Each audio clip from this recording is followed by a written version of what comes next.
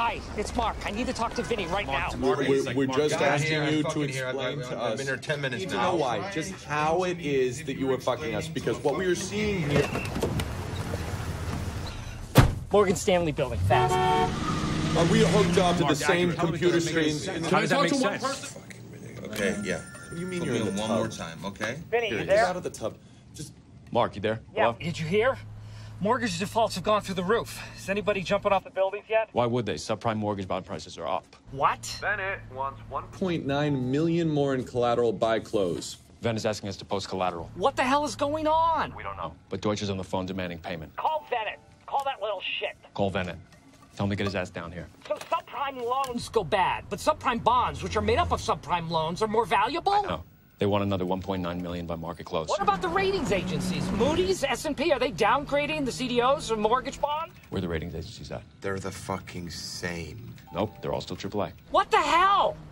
Are you fucking kidding me? Those fuckers, those motherfuckers. They go public and all they care about is their bottom line and their shit. Mark, that's not all. The Morgan Stanley risk guys are here. They called in Kathy Tao. They're trying to convince her to make us sell our swaps. Apparently, uh, tying up six years of insurance payments in hopes of uh, housing Armageddon is not prudent investing. What did Kathy say? Nothing yet. She keeps asking if this is one of your crusades.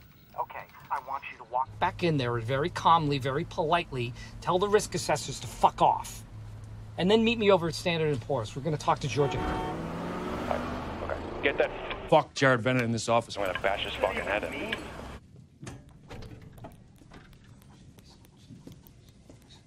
Uh, gentlemen, I spoke with Mark Baum. He says to fuck off. I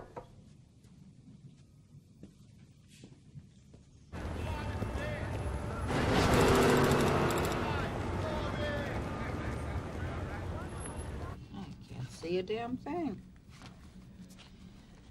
My eye doctor's always busy. I end up taking any appointment they'll give me, and the whole morning gets shot to hell. so, alrighty. Front Point Partners. How can Standard & Poor's help you?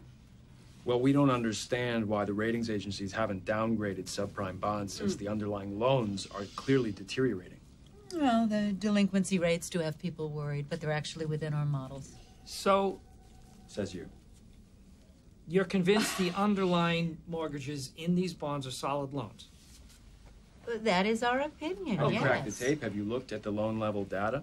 What do you think I we mean, do they're giving these loans day? to anybody with a with a credit score and a Excuse me, pulse. sir. What do you think we do here all day? I'm not sure. That's why we're here. Here's what I don't understand. We check, we recheck. If these check mortgage again. bonds are so stable, if they are so Perhaps you could solid, check your friend. Hmm? have you ever refused to rate? That's that. delusional. We, Georgia, we stand behind have that. you ever refused to rate any of these bonds upper tranches AAA?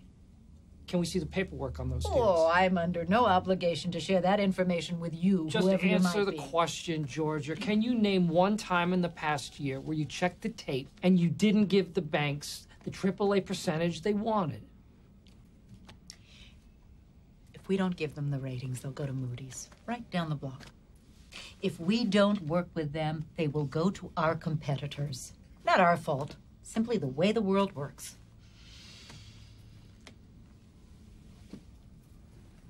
Holy Ah. shit. Yes, now you see. And I never said that. They're selling ratings for fees. A rating shot. You can afford to make less, make less. Nobody said that. And it is not my decision. I have a boss. Are you kidding me? Yeah, how'd your boss No, boss I am do not on the kidding IPO? you. How'd your, What? bo- how'd your I am boss not do in the on habit of kidding. Is that the angle you're taking? so now anyone who has a boss just work for yourselves, can't be held responsible for doing shitty and illegal things. What are you for? No, I am not for Mr. Baum. I am not. No. And I wonder, I wonder what your incentives might be.